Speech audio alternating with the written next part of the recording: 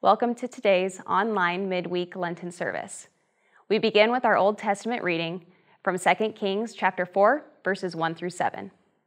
One of the wives of the sons of the prophets cried out to Elisha, Your servant, my husband, has died. You know that your servant feared the Lord. Now the creditor is coming to take my two children as his slaves. Elisha asked her, What can I do for you? Tell me, what do you have in the house? She said, your servant has nothing in the house except a jar of oil. Then he said, Go out and borrow empty containers from all your neighbors. Do not get just a few. Then go in and shut the door behind you and your sons, and pour oil into these containers. Set the full ones to the side. So she left. After she had shut the door behind her and her sons, they kept bringing her containers, and she kept pouring. When they were full, she said to her son, Bring me another container. But he replied, there aren't any more. Then the oil stopped. She went and told the man of God, and he said, Go sell the oil and pay your debt. You and your sons can live on the rest. Our gospel reading comes from Matthew chapter 25, verses 31 through 46. When the Son of Man comes in his glory, and all the angels with him, then he will sit on his glorious throne. All the nations will be gathered before him, and he will separate them from one another just as a shepherd separates the sheep from the goats. He will put the sheep on his right and the goats on the left. Then the king will say to those on the, his right, Come, you who are blessed by my Father, inherit the kingdom prepared for you from the foundation of the world. For I was hungry, and you gave me something to eat. I was thirsty, and you gave me something to drink. I was a stranger, and you took me in. I was naked, and you clothed me. I was sick, and you took care of me. I was in prison, and you visited me. Then the righteous will answer him, Lord, when did we see you hungry and feed you, or thirsty and give you something to drink? When did we see you a stranger and take you in, or without clothes and clothe you? When did we see you sick or in prison and visit you? And the king will answer them, Truly I tell you, whatever you did for one of the least of these brothers and sisters of mine, you did for me. Then he will also say to those on the left, Depart from me you who are cursed, into the eternal fire prepared for the devil and his angels. For I was hungry, and you gave me nothing to eat. I was thirsty, and you gave me nothing to drink. I was a stranger, and you didn't take me in. I was naked, and you didn't clothe me. Sick and in prison, and you didn't take care of me. Then they too will answer Lord, when did we see you hungry, or thirsty, or a stranger, or without clothes, or sick, or in prison, and did not help you? Then he will answer them.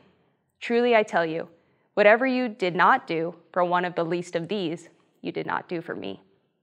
And they will go away into eternal punishment, but the righteous into eternal life. This is the word of the Lord. In the gospel reading that we just heard, Jesus uses this imagery of separating sheep from goats as he talks about judgment. But to truly understand what he's trying to say, we need to really understand the difference between these two animals. You see, the herdsmen, they would allow the sheep and the goats to range together during the day, but then at night they would separate them. And to understand the difference, we need to realize that sheep, they're grazers. They would take a bite, munch and chew a little bit, take a step forward, take another bite, and on and on and on. They follow they know their shepherd's voice and they follow them as the shepherd leads them to safe pasture lands. On the other hand, though, goats, they're browsers. They don't just simply graze along aimlessly like sheep, but rather they look for things to eat. They're independent. And it's said that while sheep are led by their shepherd, a goat's herdman is led by his goats. At night, then, they would all come together and the herdsmen would shep- separate them into their, into their own enclosures, the sheep and the goats, for their own safety. How often are you and I like those goats? Independent, focused on ourselves and our own ambitions? Well, if you're like me, you've answered more than I probably care to admit. But that's what confession is. It's a time to come clean, to repent, and to turn away from our sin, and to let Jesus make it right. So I ask you, Do you admit that at times you put yourself before the needs of others around you? I do too. Have you at times failed to act with generosity toward those that need help? I have too. Have you cast judgment on those seeking help? I'm guilty of this too. And do you desire, through the power of the Holy Spirit, to flee from your sin and be transformed so that you may live with a generous heart? I definitely do too. So know that our Lord has heard your plea and mine. And so, in his name, Father, Son, and Holy Spirit, and with Jesus' authority, I announce to you that your sins have been forgiven. You have been redeemed. You are his sheep. Go in his peace to serve him with a generous heart. Amen.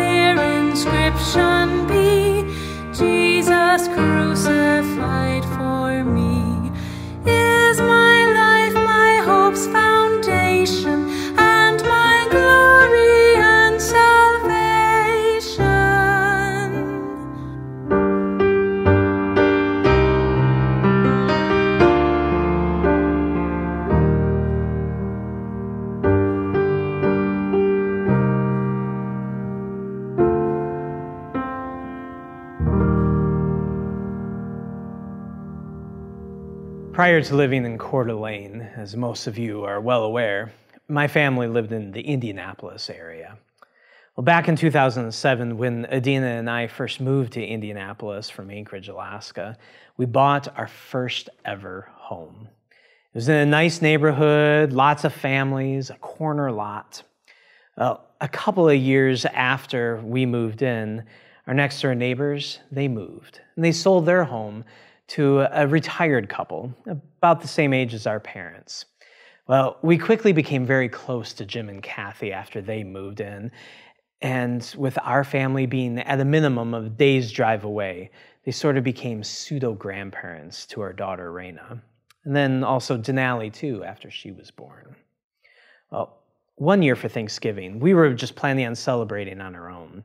And due to the distance required to travel to see my family in Michigan, combined with my commitments at church for Thanksgiving and the coming weekend services, we just didn't have the opportunity to leave town.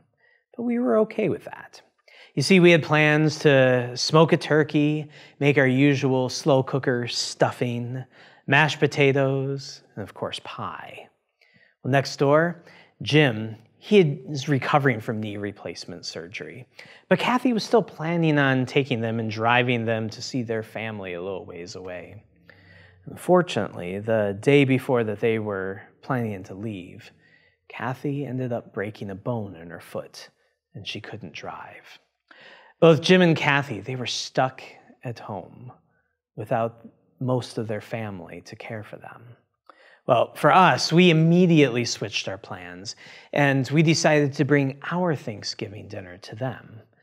And so that evening, we trekked our food across our yard to their house and we ended up with a lovely Thanksgiving celebration, despite the crutches and the entire situation. I share this story with you not to pat my own family on our backs, but to explain that that impromptu Thanksgiving get together it was the result of the relationship that we had with Jim and Kathy. It was a natural response to being close to them. There were no second thoughts about whether we should or shouldn't do it. It was just simply, of course, we'll bring dinner to you. Of course, we'll share with you. Of course, we want to give. See, generosity was the fruit of that relationship. In our earlier gospel reading, Jesus shares the story regarding the judgment using the, that image of separating the sheep and the goats, which would have been familiar to the people of the day. In Jesus' story, the king looks at those on his right, the sheep, the righteous, and welcomes them with his blessing, an invitation into his kingdom, saying, For I was hungry, and you gave me something to eat. I was thirsty, and you gave me something to drink. I was a stranger, and you took me in. I was naked, and you clothed me. I was sick, and you took care of me. I was in prison, and you visited me. Well, they're confused, and they have no recollection of this, and they raise this issue with the king, and the king's response is simple Truly, I tell you, whatever you did for one of the least of these brothers and sisters of mine, you did for me. On the surface, it would seem that those righteous, they earn their place in their kingdom based on their good works. But we know that this is not what Jesus, Jesus teaches elsewhere. So, what is he really saying here? Well, consider the importance of Jesus comparing the righteous with sheep and the unrighteous with goats. In John 10, Jesus says, I am the good shepherd. I know my sheep, and my sheep know me. My sheep hear my voice, and I know them. They follow me. It's about the relationship that Jesus has with us, his flock. In a word, that relationship is faith that God has blessed us with. That's the key to salvation. Knowing that Jesus took our place. He has bought us forgiveness. He is preparing a place for us. He has won the victory. As Paul writes in Ephesians, for by grace you have been saved through faith. And this is not of your own doing, it is the gift of God, not a result of works, so that no one may boast. So, why then in Jesus' story does he mention all these generous works? Well, consider these words from Jesus' brother in James chapter 2. Whatever good what that good is it, my brother, if someone says he has faith but not works? Can that faith save him? If a brother or a sister is poorly clothed and lacking in daily food, and one of you says to them, Go in peace, be warmed and filled, without giving them the things needed for the body, what good is that? So also faith by itself, if it does not have works, is dead. You see, generosity is a fruit of faith, a fruit of the relationship that we have with Jesus. As He lives in our hearts and He dwells in our minds, we are compelled to give. In Christ, generosity becomes a natural expression of the relationship that He has with you and with me. Jesus provides that greatest example of generosity, giving up his life for us so that we might be redeemed and live with him forever. As we then allow the Holy Spirit to transform us in faith, Christ's generosity permeates throughout our lives. And just as Jesus' generosity towards us on the cross was so great, it won victory over sin, death, and the power of the devil if we allow that generosity to then flow through our lives, the results can potentially be mind blowing. Just in, as in our Old Testament reading, God showed his generosity through the prophet Elijah or Elisha to the woman in need and miraculously kept the oil flowing until the need was no more and all the available jars were filled. Only he knows the amazing possibilities that lay out there when you trust God to open your heart and give to someone in need. Today, consider our red letter challenge to allow Jesus' generosity to be demonstrated in your actions. How can you, whether it be through Christ the King's own love pantry, another organization in town, or just simply through the personal relationships that you have, give to those that are hungry? in need of clothing. that are lonely, sick, or even in trouble to the point of being in jail. How are you being compelled to act, to give. Not so that you may be blessed more, but rather that you might be a blessing to another. For this is the faith that God has already blessed you with. This is the identity that you have as a redeemed child of God, being put into action on our daily walk with Jesus. In his name, amen. Will you pray with me, please? Abba, Father, we give you thanks and praise for your mighty works and your generous love that you continue to shower upon us. You have called us your children, and through your word and the water of baptism, you have placed your name on us. Let that identity be revealed to the world in our words and our actions. Transform our hearts to be generous as we are compelled to give from that of which you have blessed us with. Open our eyes to see those that are hungry in our community, those that are a stranger, those that are lonely, that are sick, those that are in trouble, that we may generously give through our actions, that we may allow your grace to be revealed through us. Let your works in uh, us bring honor and glory to you, Lord, and may they be a reflection of the act of faith that you have placed in our hearts. We pray this in Jesus' name, along with the prayer that he has taught us. Our Father, who art in heaven, hallowed be thy name. Thy kingdom come, thy will be done on earth as it is in heaven. Give us this day our daily bread, and forgive us our trespasses, as we forgive those who trespass against us. And lead us not into temptation, but deliver us from evil.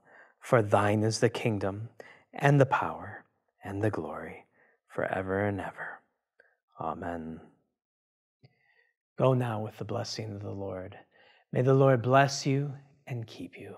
May the Lord make his face to shine upon you and be gracious to you. May the Lord look upon you with favor and give you his peace. Amen.